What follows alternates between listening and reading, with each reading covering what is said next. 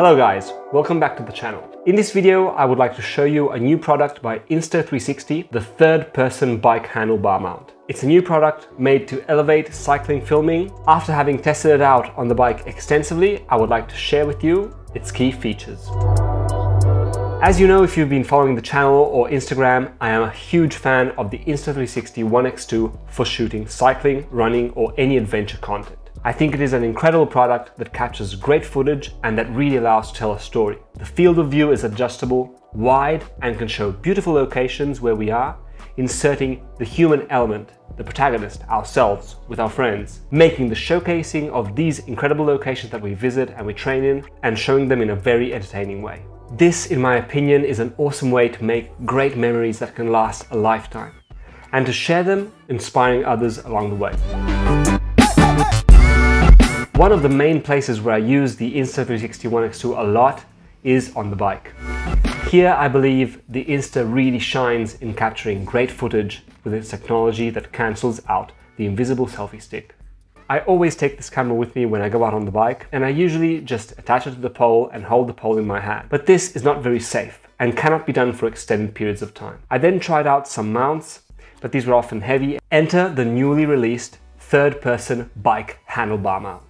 This mount, constructed in plastic materials, has two anchor points to lock it on the handlebar and an adjustable front mount where to attach a Insta360 carbon fiber pole made exactly for this specific mount.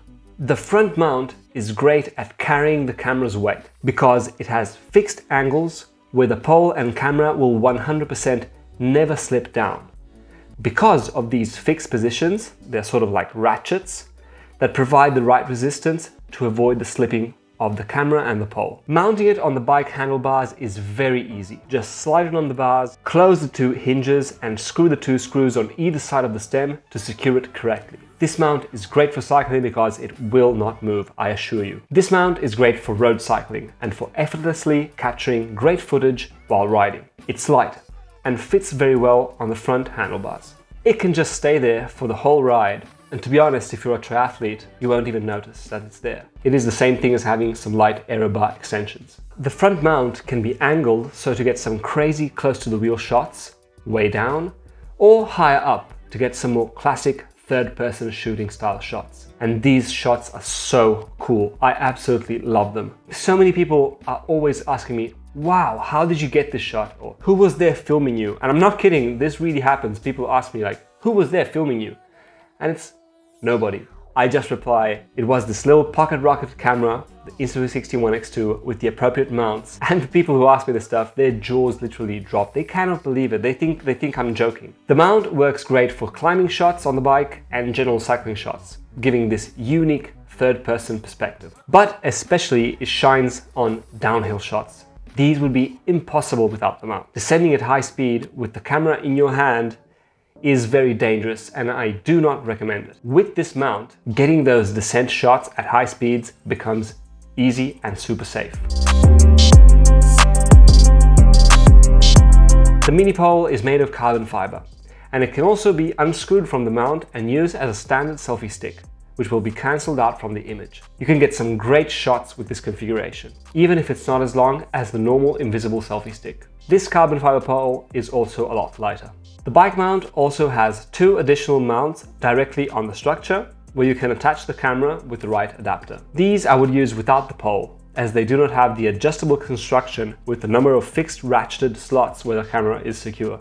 I would recommend this mount to anyone who wants to showcase and remember their rides and adventures. The footage you can get is truly awesome in my opinion. The third person view is really a unique perspective that no other cameras can give. And it is just so easy to get these shots with this camera and this configuration. It's uncomparable to any other camera.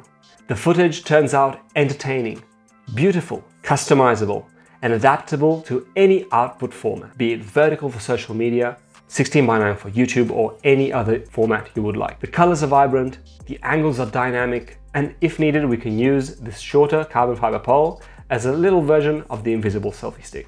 I think this mount is absolutely perfect for anyone who wants to go on epic rides, showcase both the places where they're going and the action that is happening, so the actual ride.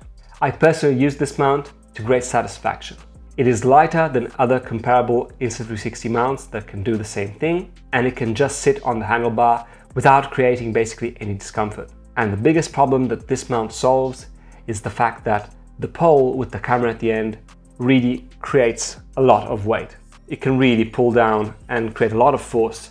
And with cycling, this can be kind of dangerous because cycling at high speed, hitting potholes and all that kind of stuff, coupled with the weight of the camera, this can really make it move a lot. But with this mount and the ratcheted fixed constructions, this is not a problem because the camera will remain fixed where we put it and we never have to have any fear about it moving. With this mount, to achieve the best view and stability, it is recommended to keep the pole parallel to the ground, so straight out, and ensure that the camera's front side is parallel to the ground. The compatible handlebar diameter for this mount is between 25 millimeters and 32 millimeters. So basically we will be able to mount it on any standard road cycling handlebar. I would recommend using this mount on roads. The instructions say to keep our speed under 60 kilometers per hour, which I think is a good idea, and maybe on some very light gravel, but I would not push it to hardcore gravel or anything mountain bike related. For mountain biking, there is a whole lot of other mounts that Insta360 makes, which are more adapted to that. This mount is compatible with the Insta360 One X2 and the One RS, so it can be used with both these cameras and I think with other cameras that you can check out on the site. So all in all, I would recommend this mount to anyone who's into cycling, to filming their cycling, making videos about it, sharing the beautiful places that they see and the adventure that they go on. And if they're looking for something that is light and fairly non-invasive, because you can literally forget that you have this mount on the bike, I would definitely look into it. Two things that I did that are not written in the instruction manual are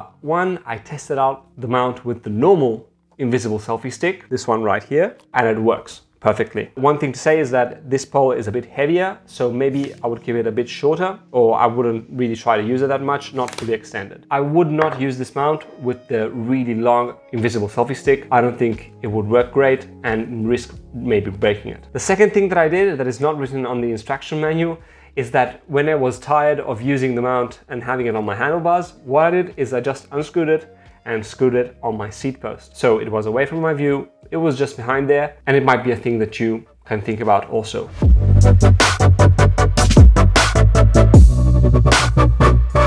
So all in all, this mount is absolutely approved. It's to replace the motorcycle mount that I was using before because this is way lighter, it's way easier to use, and it is a product that I feel that I can absolutely recommend. It is a step forward compared to what was present before on the market. Two final things. If you're on the fence about getting the Insta360 One X2, I say absolutely get it. It's an insane camera. Second thing, if you're thinking of getting this handlebar mount, I will leave a link in the description that you can get it. It's an affiliate link. It won't have a discount, but it might have some extra accessories for you. So I will leave the link in the description. I hope you like this video. I really believe in Insta360 as a brand, in what they're doing and the products they make as a really big step forward to the future of showcasing action sports, cycling, running, hiking, trail running, and everything that has to do with adventure and especially solo adventure.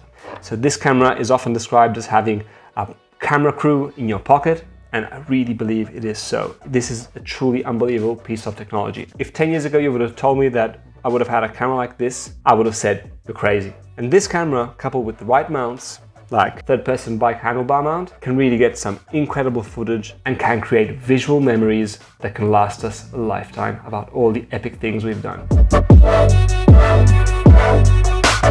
So let me know what you think about the Insta360 One X2 new mount. Let me know what you think about the Insta360 camera if you want me to test it in some ways or if you're curious about some things, drop the questions below. I will answer every single one of them. Join the Discord chat if you haven't already to discuss anything that is training, racing, triathlon, endurance and technology related. Thanks for watching as always and I will see you in the next video. Stay stoked and have a great day.